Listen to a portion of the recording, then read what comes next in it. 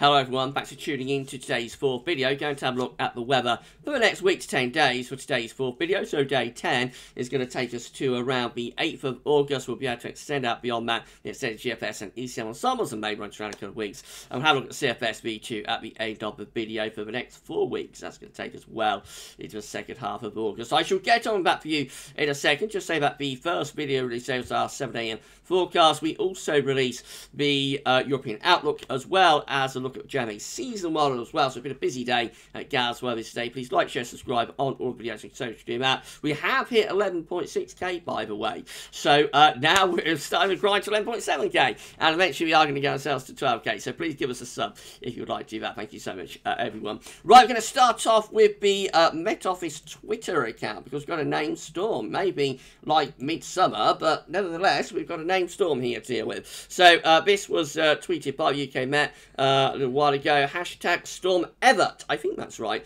has been named and is forecast to bring unseasonably strong winds and heavy rain to southern parts of the UK uh, later today and into Friday. Hashtag weather aware. Uh, so let's have a look at this then. Showing you a nice little animation as they always do uh, to have a look at. So uh, here it comes. There it is. Storm. I think that's Evert, but it might be Eva. if anybody knows, let me know in the comments. So here it comes anyway. Uh, deepening light mad to southwest of the country and uh, into UK uh, it comes. 45 to 55 mile per hour gusts uh, on the coast and hills.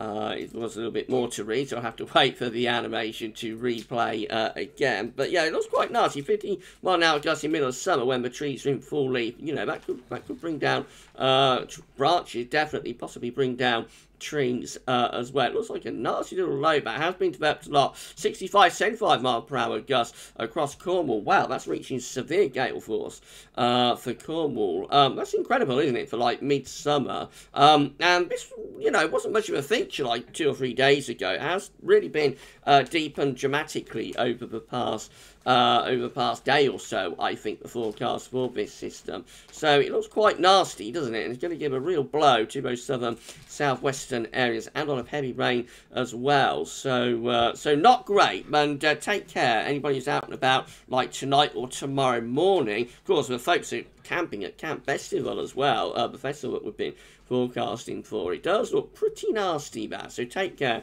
anyone who's out and about camping or so on. Um, you know, look after yourself tonight, tomorrow. It could be very wet down in the south and southwest country and very windy too. Gale or severe gale force winds around those southern, southwestern uh, coasts.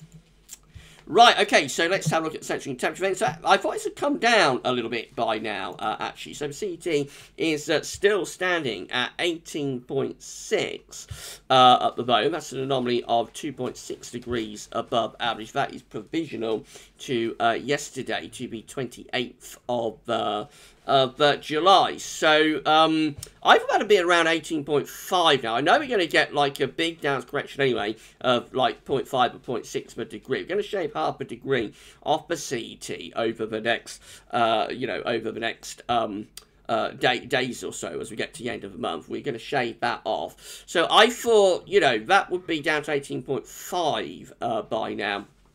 There we go, the highlighters finally decided to start working. Uh, I've up down to 18.5 by now, and uh, and so, you know, uh, taking into account down scratch, we'd probably be at 17.9 uh, today. But actually, we're probably there still at around 18, uh, to be honest. So I think we're probably still at around 18 uh, 0.0. But I still can't really see any way that we can keep this in the 18, because I think this is going to drop, you know, going to shave 0.2, 0.3 of a degree off. And then with the big downward correction again this month, I still think this is going to finish up like in the, in the mid to upper 17. So again, 17.7 is probably about where uh, this is going to finish. But it will be interesting to see. We'll find out on Sunday, of course, where that's uh, coming in. Right, these are the GFS upper air temperature and precipitation ensembles next couple of weeks. At Cambridge today. So red line is the 30 year upper air temperature average for Cambridge, and we're starting off below average for the next week, 10 days. We're going to keep those upper air temperatures at or below uh, normal. Now, as we go towards the middle of August, it looks like we have got some indications of a bit of a warm-up starting to take place then. Albeit it's a long way out, they're outlier members, but there are quite a few of them today that are lifting those upper air temperatures up uh, around the middle part of August. So we might start to see something uh, a little bit warmer taking place as we get into the middle of August. But solidly for the first week, 10 days of August, it does look pretty cool. I've been saying in videos a lot over past few days. And precipitation-wise, regular rainfall spikes coming through, so it is going to be unsettled as well as, you know, having uh, regular, uh, it's going to be unsettled with regular bouts rain and showers as well as being quite cool.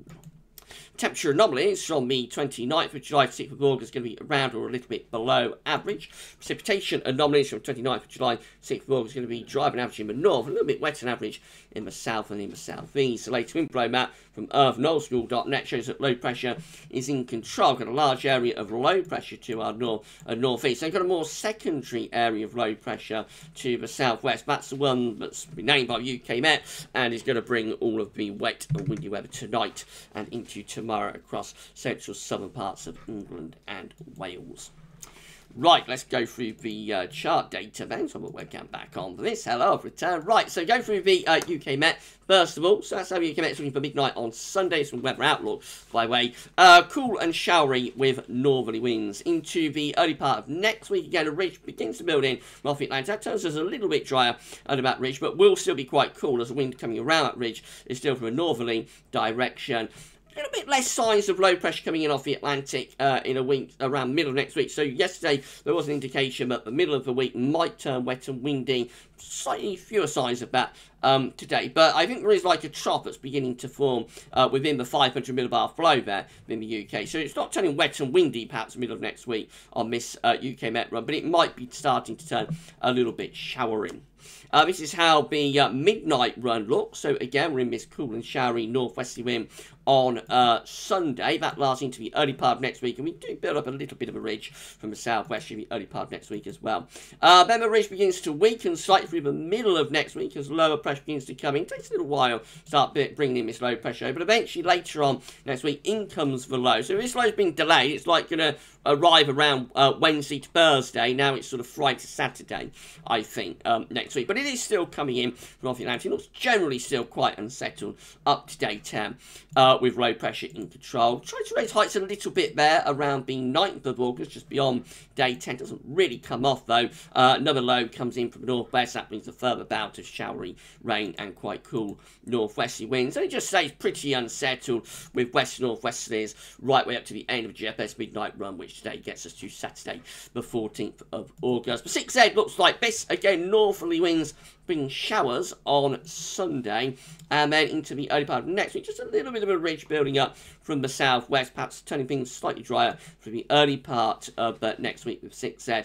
And then a trough moves in from northwest, not a particularly deep area of low pressure, a trough moving in from the northwest um, into the second half next week bring showers with it, if not, uh, you know, spells of rain. Doesn't look overly unsettled at day 10, actually, with the 6th ebb. This is the 8th of August, with high pressure to our south and low pressure away to the northwest. So it doesn't look overly unsettled in the south, anyway. It is quite unsettled, though, up in the north. And extended range, this GFS run is really building up some higher pressure. Actually goes back to much warmer weather into the second week of August. So here we go. Higher pressure begins to reform with GFS 6Z. We get a nice ridge developing uh, through northern and western Europe there. That's Wednesday the 11th of August. That's turning pretty warm, I think, actually, and mainly dry uh, again. Could even be turning hot, you know, as we go uh, towards the middle part of August. We are bringing up the 15 plus 15 cells from there into more southern parts of the country. So the 6th day gets back to very warm, maybe quite hot weather in the second week of August. It might be an outlier Um, we'll have to wait and see, but certainly first we've seen for a little while, but so going very warm hot again. So that'll raise some uh, eyebrows and some interest, I'm sure, at the end of the GFS 6 which is 14th of August. Again, we've still got the ridge close to us actually, but it's a little bit cooler under that ridge. Right, the GEM looks like this. Again, rather showering on uh, Sunday. Winds in from the north. Through the early part of next week, uh, again, the GEM is looking pretty uh, pretty showery there. Not not as settled as like the GFS output, I don't think. And actually, in the second half next week, bring mist low in from off the Atlantic, so the GEM is quite unsettled uh, particularly in the second half of next week with low pressure in control. And that low pressure sits around the country up to day 10. So at this point, you know, the GFS 6Z is building up the Azores high again. Um, the GEM not interested in that at all. It just has under this area of low pressure. A lot of uncertainty now uh, coming in for around day 7, 8, 9 and 10. If you enjoyed this video, please don't use special like button. Make sure you subscribe to our channel. Thank you everybody, uh, for doing that. Drop a comment let us know uh, what you think. Right, the ECM uh, looks like that. Again, rather showery and pretty cool on Sunday. Those rather cool and showery conditions continue into the early part of next week uh, as well. And then through the second half of next week, in comes low pressure off the Atlantic. So the GEM and the ECM are actually more unsettled than the GFS output today, uh, particularly for the second half of next week. And that looks like quite a deep area of low pressure, doesn't it? Up the end of next week will bring quite a bit of rain with it and uh, cool temperatures as well. And up to day 10, in comes the next low, or the next low is threatened to come in anyway uh, 10, which is the 8th of August. This is the precipitation forecast based on that ECM run from Tameteo.com. Here's this nasty low coming up tonight. This developed so much over the past uh, day or two. This is a really nasty area of low pressure now. Uh, Storm Evert, I think. Um, that's going to bring plenty of rain overnight, uh, tonight, and into tomorrow, as well as those strong winds as well. And then into weekend, it's basically a case of sunshine and showers, really. Early next week, we do still keep showery weather going, but there will be drier periods too before low pressure starts piling for the second half next week, bringing a bit of a deluge with it, lots of heavy rain and pretty strong winds coming in with that. That's how long to get to day 10 and just slightly transient ridge, but more low pressure. Wet weather is waiting in the wings in the Atlantic. So the ECM definitely very unsettled today. Remember GFS output, especially for 6Z, not as unsettled as that though.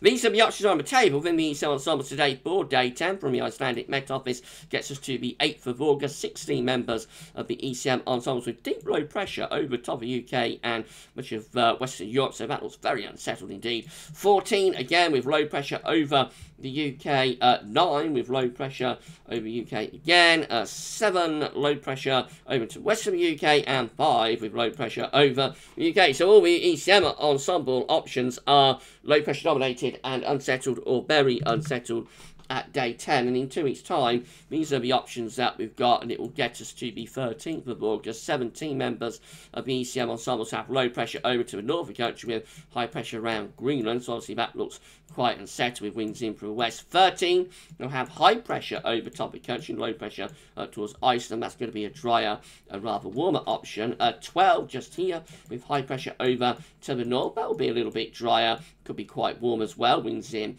from uh, the east. And then 9 with high pressure to our west, and a bit of a shallow trough over top of the coast. We may start be seeing signs of going back to higher pressure for the middle of August. It's not going to be an immediate process, but we could start to, to be seeing indications anyway of higher pressure and warmer dry conditions for the middle of August. Summer may not be done with us yet, everyone. Right, let's have a CFS and then we're done. So these are 500 millibar heights broken down into weekly periods. The first week period takes us from the 29th of July to the 4th of August. Coming week will be dominated by low pressure across northern and western Europe. It'll be combined with the mid-Atlantic ridge up towards Greenland. So very cool and very unsettled, of course, in week ahead. And week two is going to be the 5th through to the 11th of August, again with deep low pressure over top of the UK and much of western Europe but that also looking very unsettled with spells of rain, lightning and cool temperatures too.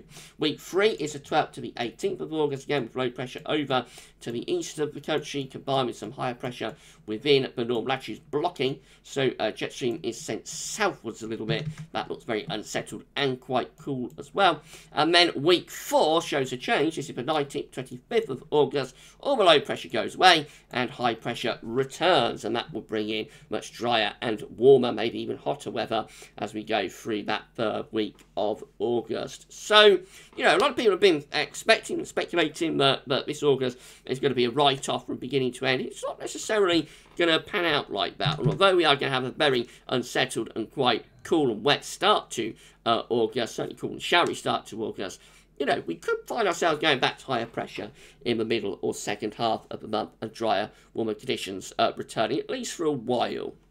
We shall see, and time will tell, of course. Right, so if you enjoyed this video, then please can you smash your like button, make sure you subscribe to our channel. Thank you so much, everybody, for doing that.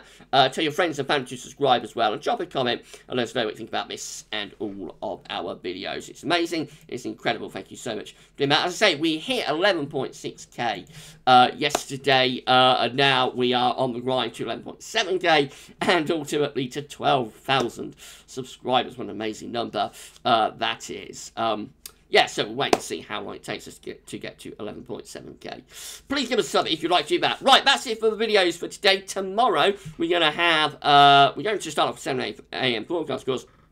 We'll have the European Outlook uh, tomorrow. No, we won't. We'll have the EC uh, 30, 46 day forecast this week. Look at um, tomorrow. We're getting mixed up with what we're doing. Uh, so that will not be on Saturday morning, but this coming Saturday we'll be doing the season one roundup for autumn 2021, the second one of those. So it means we've got to push the uh, we've got to push the six weeks. look Okay, with the ECM to Friday. So that will be coming up for you tomorrow, as well as JMA Friday as well. So proper sort of long range uh, special coming up tomorrow, um, and also a 10 to 14 day as well. So it will be a busy day. Uh, tomorrow, every day is a busy day at well is. Uh, and that's what's uh, on the way tomorrow. You enjoy the rest of your Thursday. Uh, and for this one, that's all for now. And thanks for watching.